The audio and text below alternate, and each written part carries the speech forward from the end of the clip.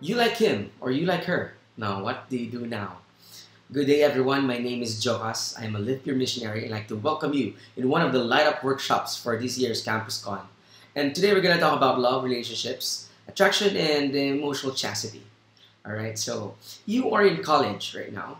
Let's believe that you're trying to pursue your dreams or your passions, and everything seems exciting and everything seems like a defining moment for you, right?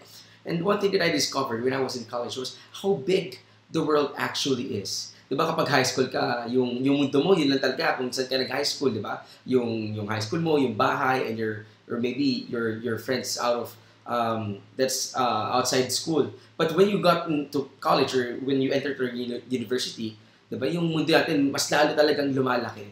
And there's a variety of people that you could meet. And also, you are in that age where you are not a kid anymore, but at the same time, you're not a full-grown adult either and you make your own decisions now. And at the same time you discovered every decision has a corresponding consequence. It may be good or it may be bad. And another great uh, thing while in college is that falling in love has a different meaning and experience. Minsan di ba pagka yung iba yung meaning ng falling in love the, the first time that you felt it for example kung kung na na, na fall in love na kayo during elementary or during junior high school or senior high school. But then again um, every stages has a different meaning and different experience so that's why we need to talk about this. That's why a lot of people tend to explore love and relationships. And how do you really save your heart for the right one in this season? How do you really know if uh, you should text him back and how do you really know if you should ask her out? Now, to help us navigate love relationships, let us sure that we are on the same page. First off, una kailangan is that falling in love is very, very much normal. It's much more common than you think. 'Di ba? Parang I, I mean what I'm trying to say is hindi siya masama. Okay? Nagkakagusto tayo, nagkaka-crush tayo. That's completely normal because we as humans, we are made in the image and likeness of God who is love himself. We are made to be loved, to love and be loved. It's the main reason why we get attracted. And speaking of attractions, it is said in um, St. John Paul II's book, Love, Love and Responsibility, that there are two kinds of attraction. Number one is sensual attraction or the one that has something to do with material value of the person. And sentimental attraction or the one that has something to do with non-material value of the person. What does that mean? Simply said, sensual attractions is what we find physically attractive about a person. Diba? Yung, yung height niya, complexion, yung eyes, yung yung nose, diba? Whatever we find hot in a person, etc. And uh, and uh, sentimental attraction is what we find emotionally attractive about a person. For example, ugali, di ba? Kung mabait ba, gentleman ba siya, malabing, malabing ba siya, maalaga ba siya, so on and so forth. And these attractions can have a hard effect on us. Kaya kailangan ng control. While physical chastity is the one that controls sensual attraction. Okay? What controls sentimental attraction? That, my dear friends, is emotional chastity. If sensual attraction goes out of control, it does not lead to love. For example, diba kung bawa, too much na attraction mo at hindi mo control na sensual, you're more of puro physical na lang, di ba? It doesn't end to love. It leads to using, it leads to lust. And same way with uh, sentimental attraction, it leads to using. Now, how does that happen? For example, nagbo-boyfriend ka, okay? Nagka-girlfriend ka for the sake of having one. Okay? Para may makasama ka, kasi ayaw mag-isa, nagsisake ka lang sa relationship kasi feeling, feeling, feeling, feeling mo, wala nang ibang for you, di ba? Wala nang ibang for you talaga na darating pa. So, you just cling on to that relationship kasi feeling mo, yun na yung para sa'yo eh. Or yung takot, tak, takot ka na magsimula ulit, so pinangakapita mo na talaga yung relationship na meron ka. Or, pwede naman, kung single ka, okay, yung pwede rin yung chat ka ng chat, di ba? Chat ka ng chat hanggang, hanggang 2 a.m. for example, di ba? Pero, walang kayo. Natuto ka maglaro ng mobile games, pero para mapalapit ka sa kanya. At kapag may nakikita kang bagong meme, sa kanya ka, sa kanya ka nag-share agad. Now, all these things, now all these things that I've mentioned, all these um, experiences and examples, it may seem harmless. Okay, para siyang harmless lang. Bakit ano naman? Wala namang masama in chatting, di ba? Wala namang masama if you're just sending memes. Wala namang masama kung if you decide to stay on relationship. Wala namang masama kung gugustuhin mo talaga to be in relationship.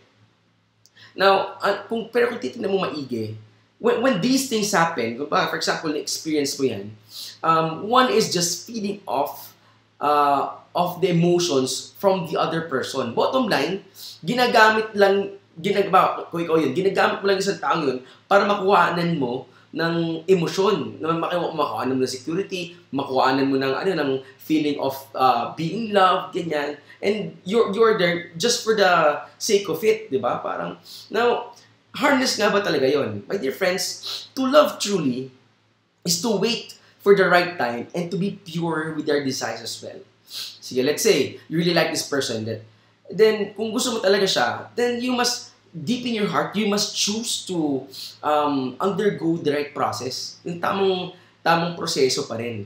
Emotional chastity isn't a repression, but a go signal in loving truly.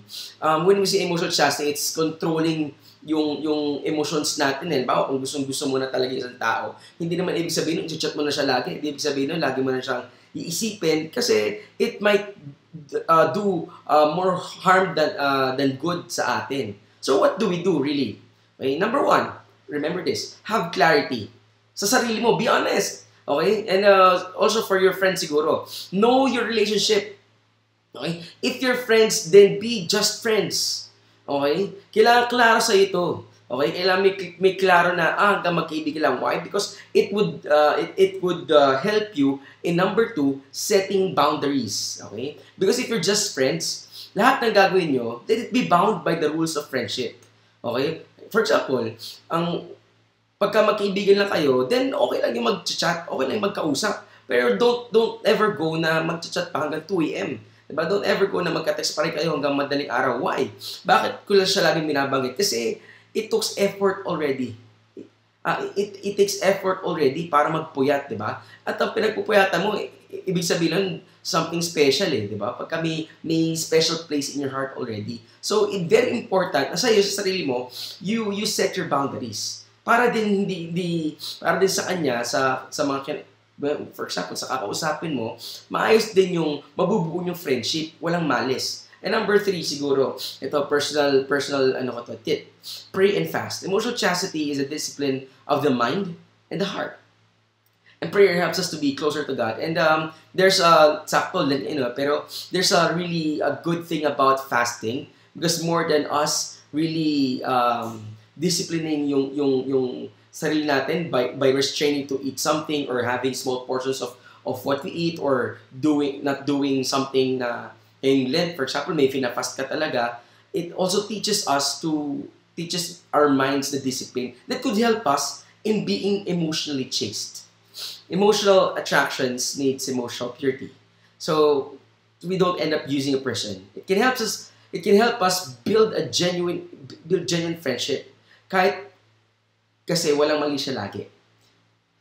Emotional attractions always need emotional purity or emotional chastity. Why? So we don't end up using a person. It can help us build genuine friendships kasi the friendship we will build when we practice emotional chastity will always be genuine kasi walang mali siya. And eventually, may this genuine friendship that we keep be bud into true love. Amen. Emotional attraction needs emotional purity. Emotional attraction always need emotional purity. Why? Because we need to control what we feel. Let us be masters of our emotions. And in practicing, one good thing in practicing about emo emotional chastity is that it helps us build genuine friendship. And may this genuine friendship that we build may help us in finding true love. Amen. Thank you for listening, my dear friends. I hope we, we, we are in this fight of finding true love. But first, um, yes, it's normal to fall in love. It's normal to, to feel all, all those things. But don't feed it and let's be emotional chaste. Amen. God bless and thank you.